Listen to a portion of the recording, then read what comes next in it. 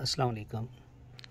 Fabric धनक है और इस नेक पे ये सारी एम्ब्रॉयडरी है। एम्ब्रॉयडरी भी काफ़ी नीच है और इस दफ़ा जो फैब्रिक है, धनक का, ये पिछले साल की नस्बत काफ़ी बेहतर है। ख़ासकर ये अभी जो मैं आपको डिज़ाइन दिखा रहा हूँ, क्योंकि इसमें भी इतनी ज़्यादा वैरायटी हो गई है कि वो थोड़ा पता चलना मुश्किल ही होता है, लेकिन वीडियो में तो है आपको वो आइडिया नहीं होगा, लेकिन ज़बरदस्त फैब्रिक है। बहुत ही देखिएगा इसकी स्टिचिंग भी। स्टिचिंग पे भी इस दफ़ा हमने काफ़ी मेहनत की है। और यहाँ तक ये सारी, ये एम्ब्रॉयडरी आ गई।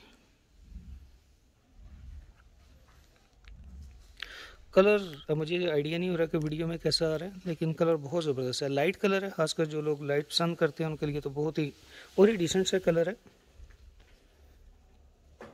इस इसका अच्छा थोड़ा सा ये ऑर्गेन्जा वगैरह से ही होता है कि इसमें थोड़ी सी लुक जो है, थोड़ी सी फैंसी सी आ जाती है, कहीं आने जाने के लिए भी ज़बरदस्त सूट है ये इसका ट्राउज़र। और कीमत है इसकी चार हज़ार एक सौ नब्बे, फोर्टी वन नाइन्टी इसकी प्राइस है। इसके साथ शॉल है।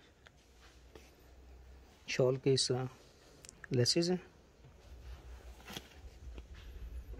बाकी हर एक की अपनी चॉइस है, लेकिन मुझे तो कलर बहुत अच्छा लगा है। कलर बहुत ही नाइस है। और इसकी जो लेंथ है फोर्टी वन फोर्टी वन इसकी लेंथ है और फोर्टी वन नाइन्टी इसकी प्राइस है।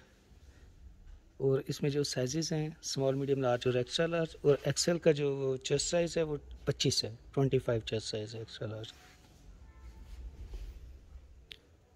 ये कलर है। साथ इसका स्टिचिंग भी बहुत ज़बरदस्त हुई है लेसेस हैं। इन डिज़ाइंस का थोड़ा सा ये होता है प्रिंट का कि जो एक दफ़ा प्रिंट आ गया, दोबारा नहीं होता। बहरहाल नए से नए आते रहते हैं, लेकिन इस प्रिंट का तो मुझे भी आइडिया है कि ये दोबारा नहीं आएगा।